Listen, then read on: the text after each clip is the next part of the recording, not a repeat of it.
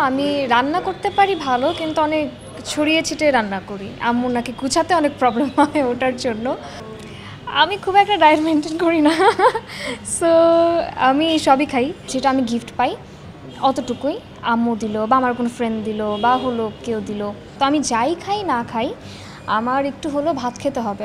আপু দর্শকেরা অনেক সময় তাদের পছন্দের তারকাদের সম্পর্কে জানতে চায় তো তাদের উদ্দেশ্যে জিজ্ঞেস করছি আপনি কি রান্না বান্না করতে পারেন? রান্না করতে পারি।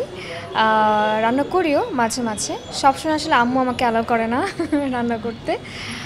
বিকজ আম্মুর মতে হলো আমি রান্না করতে পারি ভালো কিন্তু অনেক ছড়িয়ে ছিটিয়ে রান্না করি। আম্মুর নাকি গুছাতে অনেক প্রবলেম হয় ওটার জন্য। বাট হ্যাঁ করতে পারি। কোন কোন জিনিস রান্না করতে পারে পড়শি?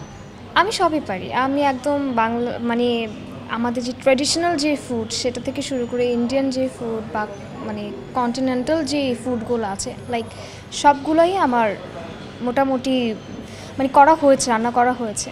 কারণ স্পেশালি হলো আমি আমার সঙ্গে ঈদ অথবা হলো একদম পুরো রোজাটা হ্যাঁ রোজার মাসটা, এই সময়টায় হলো খুব বেশি আমার রান্নাটা করা হয়। তো ওই সময়ে দেখা যায় যে ইফতারির জন্য এক এক সময় এক একটা আমরা অবশ্যই হলো করি না তো হলো, যেন একঘেয়েমি না চলে আসে।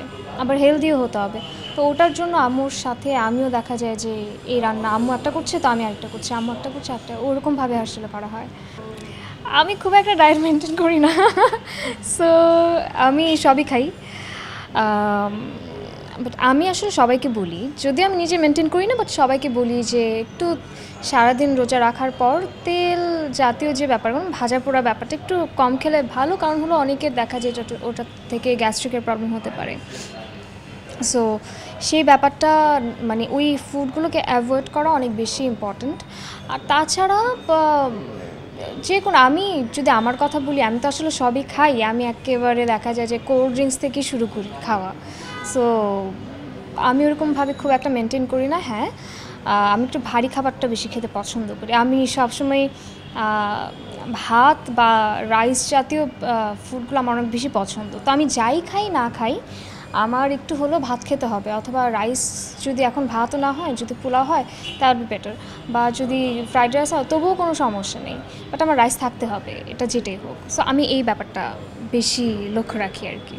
আমি একদমই মেয়েদের এই বরাবর যে জিনিসটা আমি দেখে আসি ইউজুয়ালি মানে মেয়েদেরকে যেটা দেখি, সেখান থেকে আমি একটু ডিফারেন্ট আমি খুব একটা শপিং পছন্দ করি না।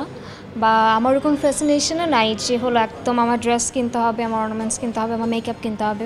আমার এই তিনটার একটার প্রতিও কোনো ধরনের ফ্যাসিনেশন নেই। সো ঈদ মানে হলো আমি খুব একটা শপিং করি না, কখনোই। খুব একটা শপিং করি না আমার নিজের জন্য। হ্যাঁ যেটা আমি গিফট পাই। অতটুকুই। আম্মু দিল বা আমার কোনো ফ্রেন্ড দিল বা হলো কেউ দিল, সেটা ডিফারেন্ট ব্যাপার। বাট নিজের জন্য কখনোই কেনা হয় না সো ইয়া এখন পর্যন্ত কেনা হয় নাই। আর হ্যাঁ অন্য কারোর জন্য কিনতে ভালো লাগে, কিন্তু সেটা একদমই ঈদের আগে আগে কেনা হয়।